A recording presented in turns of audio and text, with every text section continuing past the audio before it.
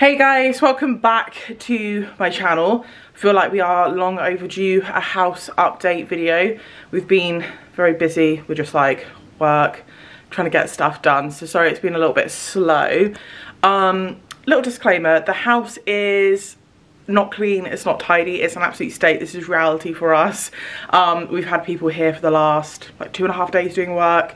So it is on our list of things to do today to actually like go around and clean the house a little bit. But let me show you what has been done so far. Okay so starting off in the hallway this is probably the most boring bit. I can't remember if i showed you this before but steve um, removed all of the cornicing and all of the skirting as well. So that is all gone apart from that one bit there. Um, we have also decided in here, can you see those like really big boob spotlights? So we're gonna change those out for more modern ones. Those are like super, super dated. Um, so we've, because they're so big, we've had to have holes drilled to kind of move the location of them a little bit for like some smaller modern ones. So we're gonna have one, two spotlights there, and then at the moment we have another weird big boob light that is going to be removed and as you can see we're going to add two more spotlights which should help brighten up this hallway a lot more. We definitely noticed a difference with our spotlights when we had them done in the kitchen and stuff. They just made a huge difference. In case anyone is interested, we've been getting all of our stuff from Electrical Direct and these are the ones that we've been using. They're actually really, really well priced. Um, they're all like fire safe and all of that jazz and they do like next day delivery. It's just super quick, easy, hassle free. Moving into the lounge. Um, I, I, think I showed you guys before, but our floorings arrived and our underlay for the flooring. The major thing in here is the ceiling. So um, we were going to have this ceiling skimmed. However, it was not flat, not even close to flat. Um, they think that maybe at some point there might have been a little bit of damp and the plasterboard has just warped a little bit. They were like, it's not a big deal but if you want a super smooth finish, we're gonna have to reboard it. So what they've done is they've run battens along this whole ceiling and they've just boarded it all. So it was important for us to not um, kind of compromise on the finish in this room because it's one of the biggest rooms and it's one of the first ones you see when you come in the house.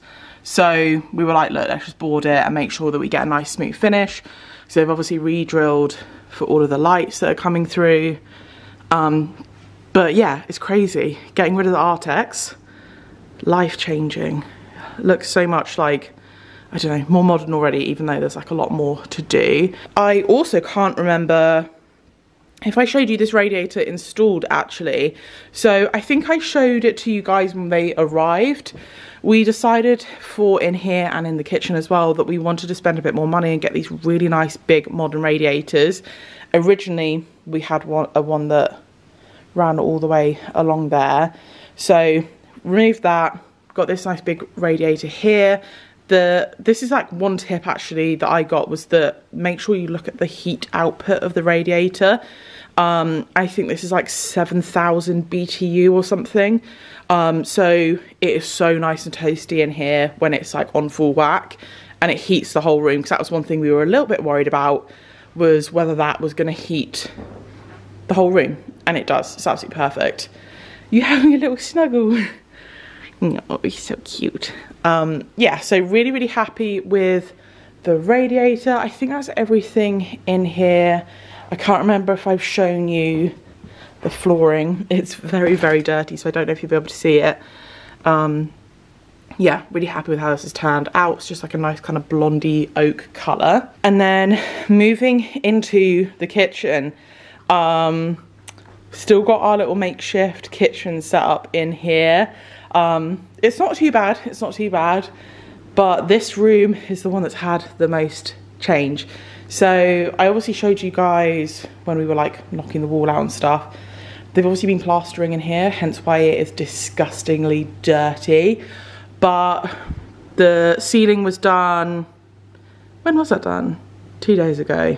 We've been basically avoiding going in this room. Um, yeah, so you can see that it is drying out pretty quickly actually, quicker than we thought.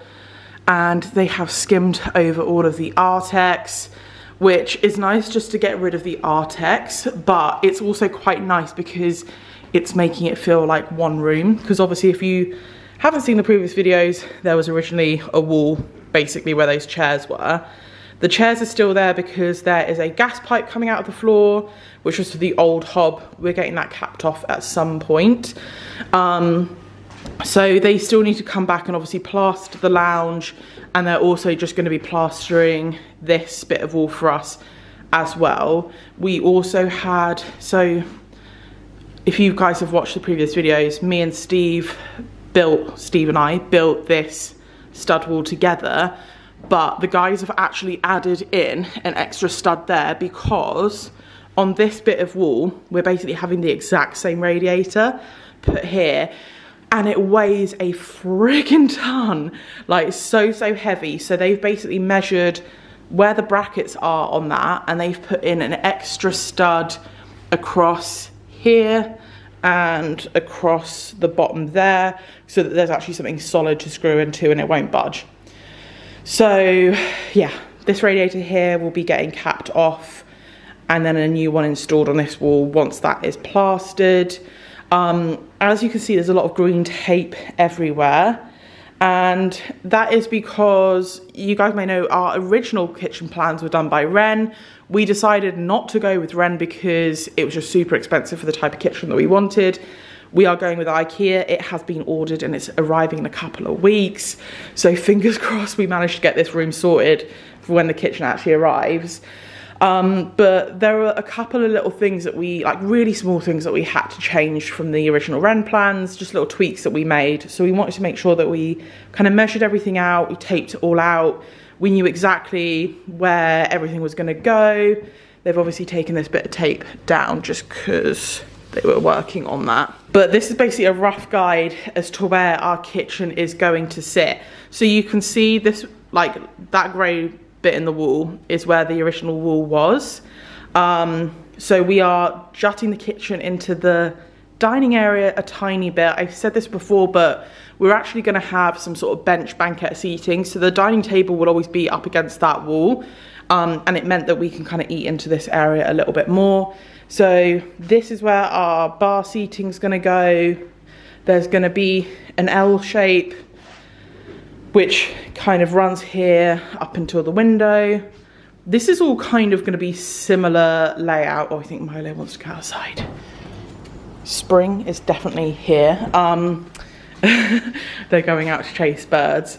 Um, yeah, again, sorry the mess, about the mess, but this is reality. So we're actually gonna bump this up to the left a little bit. So you can see right now, the worktop ends directly where the door is and we are actually gonna push it over and move all this stuff just a tiny bit you can kind of see where the tape is there we're pushing it over by about 30 centimeters um, yeah just so it's not kind of encroaching on that space as much we have also marked out we've literally just drawn on the walls where everything's going and we have had like first fix of electrics done basically so there is a situation down there which is for our hob there's a situation up there, which is for our cooker hood.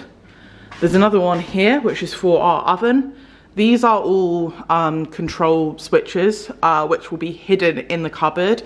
That is one thing that I said is that in our old kitchen, we had a big kind of grid panel. It's just a way to turn off your oven and stuff, basically. I didn't want it on show, so we've decided to hide it in that cabinet up there. That's just to make sure that it kind of meets regulations, but we're kind of doing it slightly differently just so we can get the look and feel that we want. And then this here is where our, sorry, the dishwasher's on as well, hence the noise. This is where our pantry cupboard's gonna go. So fridge freezer is gonna go between these lines here. So this is where the switch is gonna be for the, like the plug is gonna be for the fridge freezer. Again, that's so we can like turn it off if we need to. Um, we've got a double socket, like you'll notice there's like basically no double sockets in this kitchen. It's because we've basically hidden them all in the cupboards. So we've got a double socket in that pantry. We've got another double socket in that pantry. We've got a single socket up there, which is specifically for our microwave because we're basically gonna have a shelf there and a shelf there, which is gonna sit all of our um, like coffee machine, toaster, all of that. And then we're gonna have a shelf there at eye level where our microwave's gonna sit. Um, it's just a normal microwave. It fits in the cupboard. When the microwave's on, we're gonna have to have the door of the cupboard open. It's not the end of the world, but we just wanted to hide it. Um, and then the only double socket, loads of people find this weird, and I understand this is how we're doing it, and I know that it's like not normal, but this is what we've decided. This is the only double socket that is gonna be visible counter height. So we're gonna plug like our Alexa and our kettle in there probably. Um, but everything else that we would need to be plugged in will be in the cupboards anyway. So it's not that we don't have enough sockets, it's just that they are hidden. There is also currently a socket here. It's a single at the moment. We're having it switched out for a double. So there will be more sockets kind of on this side of the room as well. Um, but yeah, it's so like, it's so weird that it's finally starting to kind of come together and we're seeing changes and stuff like that. And obviously we're starting to really have to commit and visualize where absolutely everything's gonna live. We also have all of our appliances as well. So all of our appliances are currently in the garage. So we've got a uh, integrated fridge freezer. There's our matte black double oven. We've got our induction hob in there, um, dishwasher. There are a couple of things that I'm still a bit undecided on. Um, and one of them's a sink. I ordered a massive black granite sink. It arrived and it's not actually black. So I actually tried to return it and they just refunded me and said don't bother sending it back which I thought was so bizarre but anyway so we've got that sink I don't want to use it though um, and I also ordered a black stainless steel sink which is also not black everything I'm ordering that it says it's black it's turning up and it's basically a dark grey. So I'm kind of like struggling with finding something that's actually what it says it's gonna be. Um, and I feel like the type of sink that I want is quite specific. I'll show you the stainless steel one I've got because um, it's in the guest bedroom the other thing that we're like struggling to commit to is worktop choices as well. I feel like we're just gonna get the kitchen in and just be worktopless for a, a, while. I think we're leaning towards the kind of compact luxury laminate because I just don't think the quartz is so expensive. I love it, but I just don't think it's a viable option for us at the moment. Um, so yeah, I think we'll be going down the compact laminate route, but I'm now kind of like going back and forth on the actual finish that I want on the compact laminate, whether I want marbling in it or not. So yeah, lots of decisions to make, but I feel like there's so much going on and like having to commit to certain things like the exact location of the whole kitchen that I'm just gonna hold off on that. Like this is our kitchen at the moment, so I think I can live with no worktop for a little bit longer. Um, but anyway, let me show you the sink that we do have and I'll kind of explain why it's like a slightly different choice. Okay, so this is currently my office, which is an absolute disaster zone basically. Um, we've kind of just been dumping stuff in here while we're doing work around the rest of the house. But this is the sink box, which has all of my home and stuff in. Okay, so here is the sink. So this sink will be sitting in a 800 mil wide unit. So this is the biggest possible sink that we can fit in. The reason I want such a ginormous sink is because I am not having um, any drainer grooves or anything like that. So the thought process is sink for washing up and then actually we are going to get a little rack to go in this sink which is where we'll put everything to dry. The reason being I don't like having stuff on the side. I know that we won't dry stuff and put it away straight away. So this is just a way, like the sink is basically, as soon as you walk in the kitchen, the sink is one of the first things that you see. So I don't want to have stuff on the side. Like in our old house, it was kind of hidden around the corner. It wasn't so bad. But I don't want people to walk in the house and immediately see all of our stuff on the side. So this is a way of kind of dealing with our laziness, but um, in a hidden way. But do you guys see what I mean? Like this is black stainless steel and this is not black. So this is one of our worktop options, which is very, very dusty. But I don't know if I'm just being super dramatic about it, but like that is just not black to me. I think it looks a little bit worse on camera. Um, but yeah, like, I don't know. We are, we are going to do an undermount, but you will obviously still see that middle bit. Um, so I'm just a bit like torn as to what to do. I feel like everything that I'm looking at and I'm ordering isn't black even though it says it is. I love, I love, love this sink if it were actually black. I love like the square kind of bowls. It's super modern. It was an amazing price as well. So if you guys are looking for a sink like this, I got it from Wayfair. It had really good reviews and it came with literally like everything that you would need. And I think it was just over a hundred pounds, which honestly, compared to everything else I've been looking at, I I was shocked by how cheap this was. Um, so I don't know what to do really. I don't know whether I should just like stomach it, whether I won't really notice it once it's in. Like, am I being dramatic? I don't know, because I guess it's going to kind of sit like that. So maybe you won't actually notice that it is grey. I don't know. I can't make a decision on this, guys. I'm so I'm so confused. Also, though, I mean, I've had this for a little while. This is also from Wayfair. We ordered our tap. It is ginormous, by the way. I was shocked how big this was.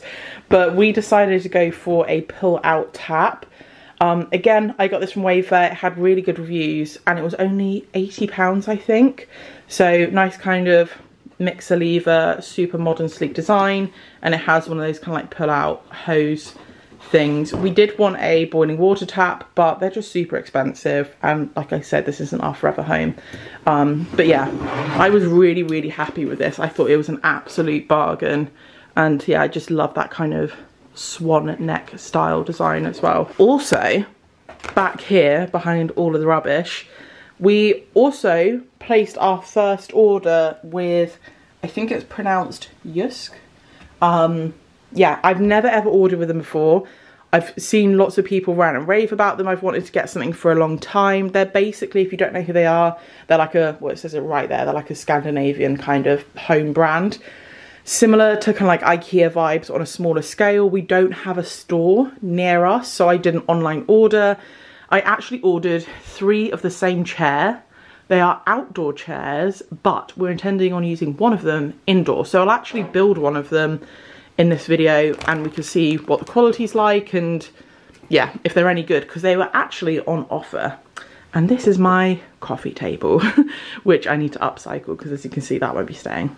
So trying to be very productive with our weekend and the amazing weather definitely feels like spring. Um, I will put in a photo of what this looked like before if I have one. But this whole, like basically, this is our garden and it's like a decent size. It's not, I wouldn't say it's big, but it's not small. Um, but there's like this just overgrown stuff just like in the middle of this bit of lawn. And I know it's each to their own, but it's a lot of stuff that we wouldn't plant. Um, so we're looking at kind of opening up this space. We've already cleared so much of it. Um, I don't know if you can see, but there's like patio slabs as well and it's like uneven. So we're hoping that we can kind of level that out and make it nicer lawn. We are going to be keeping this tree here, which I think is a magnolia tree. I, have got zero knowledge of like garden and plants and stuff. Um, so yeah, we're going to keep that there and we're thinking of doing like a, a, a ring around it, you know, like a border which is round that goes around the trunk. Um, we're going to keep that one there. We've already pulled up a random one, like just how we would like our garden is a bit more maintained looking and at the moment this is kind of wild so we are just hacking and trying to get rid of as much as possible. Um, the boys are picking up mud and chewing it. They absolutely love it. Like honestly you can't really see how much we've taken out but like all of that there was like absolutely overgrown and covered with just stuff. So yeah. Oh boys are kicking off. Um, yeah we are getting there. Also, they left this bench, ignore the stuff on top, that's like an old gross washing line we just took down. Um, but I thought it was quite nice. We're gonna like um, power wash it and like repaint it and everything. I also kind of liked this, but as you can see, it's completely rotten. So we do need to kind of smash that down, get rid of that at some point. Um, once we've got most of this down, plan is actually we're going to put some moss killer on the grass. It's dog friendly. I got it on Amazon, but this there is no grass basically. This is pretty much all moss. It's really, really bad. We also bought a scarifier because that's what our tree surgeon said to get. So we're gonna try and put some moss killer down. Hopefully that'll work. If not, we've got a scarifier. I think we might need both. Um, yeah, I don't know if you can see the difference, but like over there, there is a bit of grass, but all, most of this is just like thick, thick moss. This bit's not so bad, that's grass. Um, yeah, doing a good job, Steve. it's hard work, this. Um, so yeah, I don't know how much longer we'll be going. If we do have a considerable amount gone, I will check back in with you guys. Right, things have progressed. So, you can't see the stuff that I've done from back here.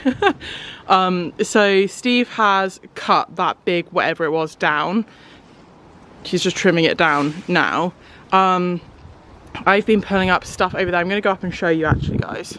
Right, so these are all the massive roots and stuff I've been digging out of the ground here. Um, there are some patio slabs under there, so it's very confusing what is what. You can see Steve has trimmed that down now. Like this space is huge and it was just like covered in stuff. So hopefully it should make the garden feel a lot bigger now. Um, yeah, claiming a lot more kind of usable, hello, a lot more usable space back up here, hopefully. Um, yeah, so I think we're going to stop there for now um, and sort of have some lunch and a coffee because it is hard work, guys.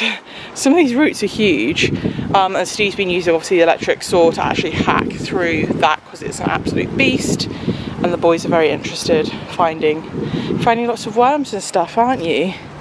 But the amount of brambles and spiky things in here was insane, wasn't it? Yeah, it's a lot. There's still plenty more in there, to be honest, but yeah, it's a big job. But we don't need to finish it today. Our aim isn't to like completely clear it. We just thought it's a nice day, like the weather's pretty good. It's sunny, but it's not like hot. it's, it's quite warm. Yeah, well, we we did our last garden in the middle of summer, didn't we? And it was like unbearable. So it's nice. It's like a bit breezy and stuff out here. But yeah, happy with the progress so far. Um, it's a shame that we are cutting so much down, but we are going to be replacing, aren't we? Yeah, it's just not in the right place. Yeah. It's almost like it's rather than if it were along the edges, I don't think we would have got rid of it. Yeah, exactly. But anyway, it's getting there. Got to build our chairs as well so that we have some decent chairs to sit on out here. Right guys, it's the next day. We have had a nice chilled morning. Been out, walked the dogs, had a bit of a chill. The garden is looking so much better. It looks so much bigger out there now that we've culled loads of stuff. I thought I'd be productive still this weekend and start building these chairs. So like I said yesterday, we ordered these from Jysk. I think it's Yusk. It's probably not. I don't know. Um, so yeah, saw these chairs. I actually saw them on Instagram. It was like a sponsored ad. Said that they were on offer and I think they were only like 60 quid per chair. And they're actually like outdoor kind of armchairy things. But we've got three because we like the style of them so much. We might put one of them in the lounge depending on how nice they are. Um, if not we'll put them all outside. So i'm going to make this now. I'll show you guys what it looks like when it's all done. Um, and hopefully hopefully it looks like it did in the photos because these definitely seem too good to be true. I feel like you want me, and I guess in a way you do.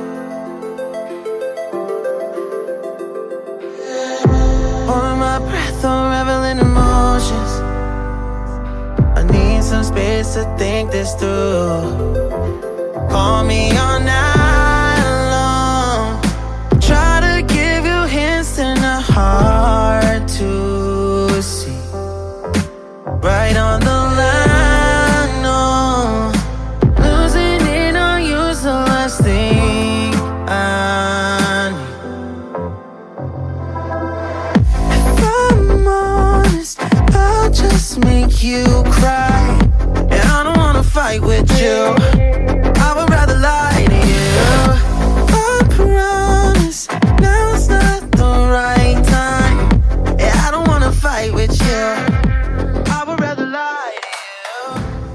Right guys, I am finished with the first chair.